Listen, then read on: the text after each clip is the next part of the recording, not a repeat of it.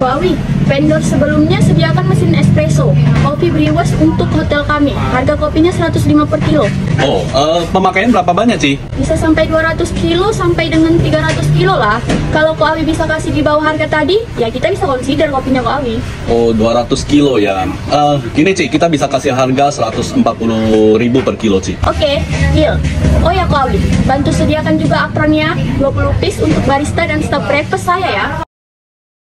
Eh, kok ada vendor tawarin 130 ribu per kilo untuk kopinya? Ko Awi bisa kasih harga yang sama nggak? Loh, tapi kita kan masih kontrak Ci 2 tahun. Nah, eh, pemakaian kemarin Cici bilang bisa 200 sampai 300 kilo. Ini rata-rata 6 bulan masih baru 60 kilo loh Ci.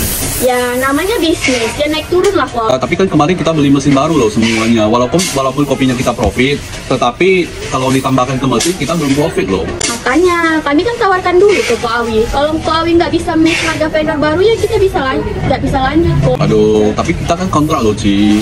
Iya kok, tapi banyak pelanggan komplain loh kopinya kurang bagus. Direksi minta ganti vendor Ko Awi.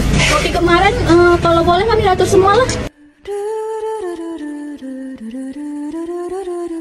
Halo Ko Awi, apa kabar? Eh, Cici Mei. Kok bisa supply kopi ke kami? Harga vendor yang sekarang ya 70 ribu per kilo lah. Kalau Ko Awi bisa kasih harga lebih rendah, kami bisa masukin sebagai vendor. Pemakaian 200 kilo sampai 300 kilo nih.